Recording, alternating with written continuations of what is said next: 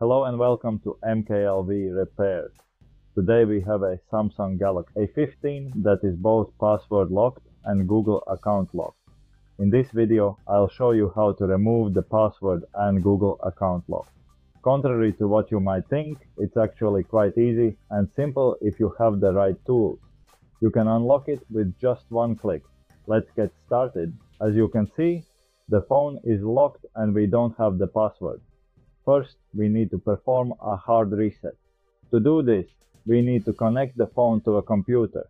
You should hear a connection tone and see that it's charging. Next, we press the power button and volume down button together to initiate the hard reset. However, to access the bootloader, we need to press the power button and volume down button. And as soon as the phone restarts, switch to pressing the volume up button. This might take a few tries. It should enter the bootloader. Sometimes it takes a few attempts, but it works eventually. Now that we're in the bootloader menu, select Wipe Data Factory Reset. Done. Now let's reboot the device and wait for it to boot up. While the phone is rebooting, I want to thank all our subscribers for their continued support. If you haven't subscribed yet, make sure to do so and turn on notifications to stay updated with our latest tutorial. The phone has booted up. Let's set it up. The top corner shows that the phone is locked, confirming it. Let's proceed manually and see what happens. As expected, it's asking for a PIN or Google account detail. However, we are not here to enter those. Let's power off the phone, unplug it and head over to the computer. Here you can see my channel. Remember to subscribe and turn on all notifications. To proceed, we need the unlock tool.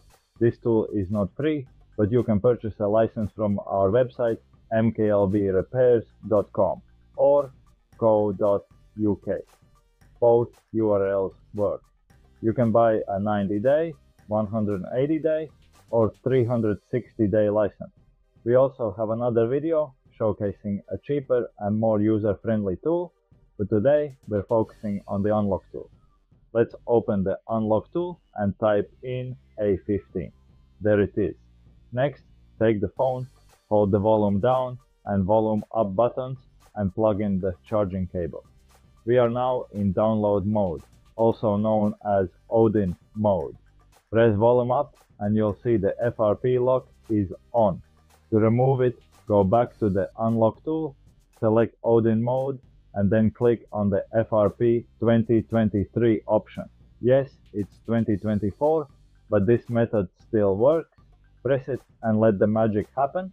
It scans the port, reads the info, and erases the FRP lock. The process is complete.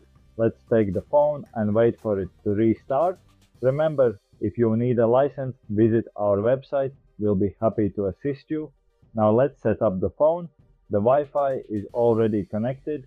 Get the phone ready, skip data copying and continue setting up the phone as if it's brand new. As you can see, it's no longer asking for any passwords or Google account details. We unlock the phone with ease. And there you have it. That's how you unlock a Samsung Galaxy A15 in 2024. This method is very easy. This video is for those in the repair business or for people who genuinely forgot their password or Google account details. Thank you very much for watching. If you want to see another method, check out our other videos. Peace and see you next time.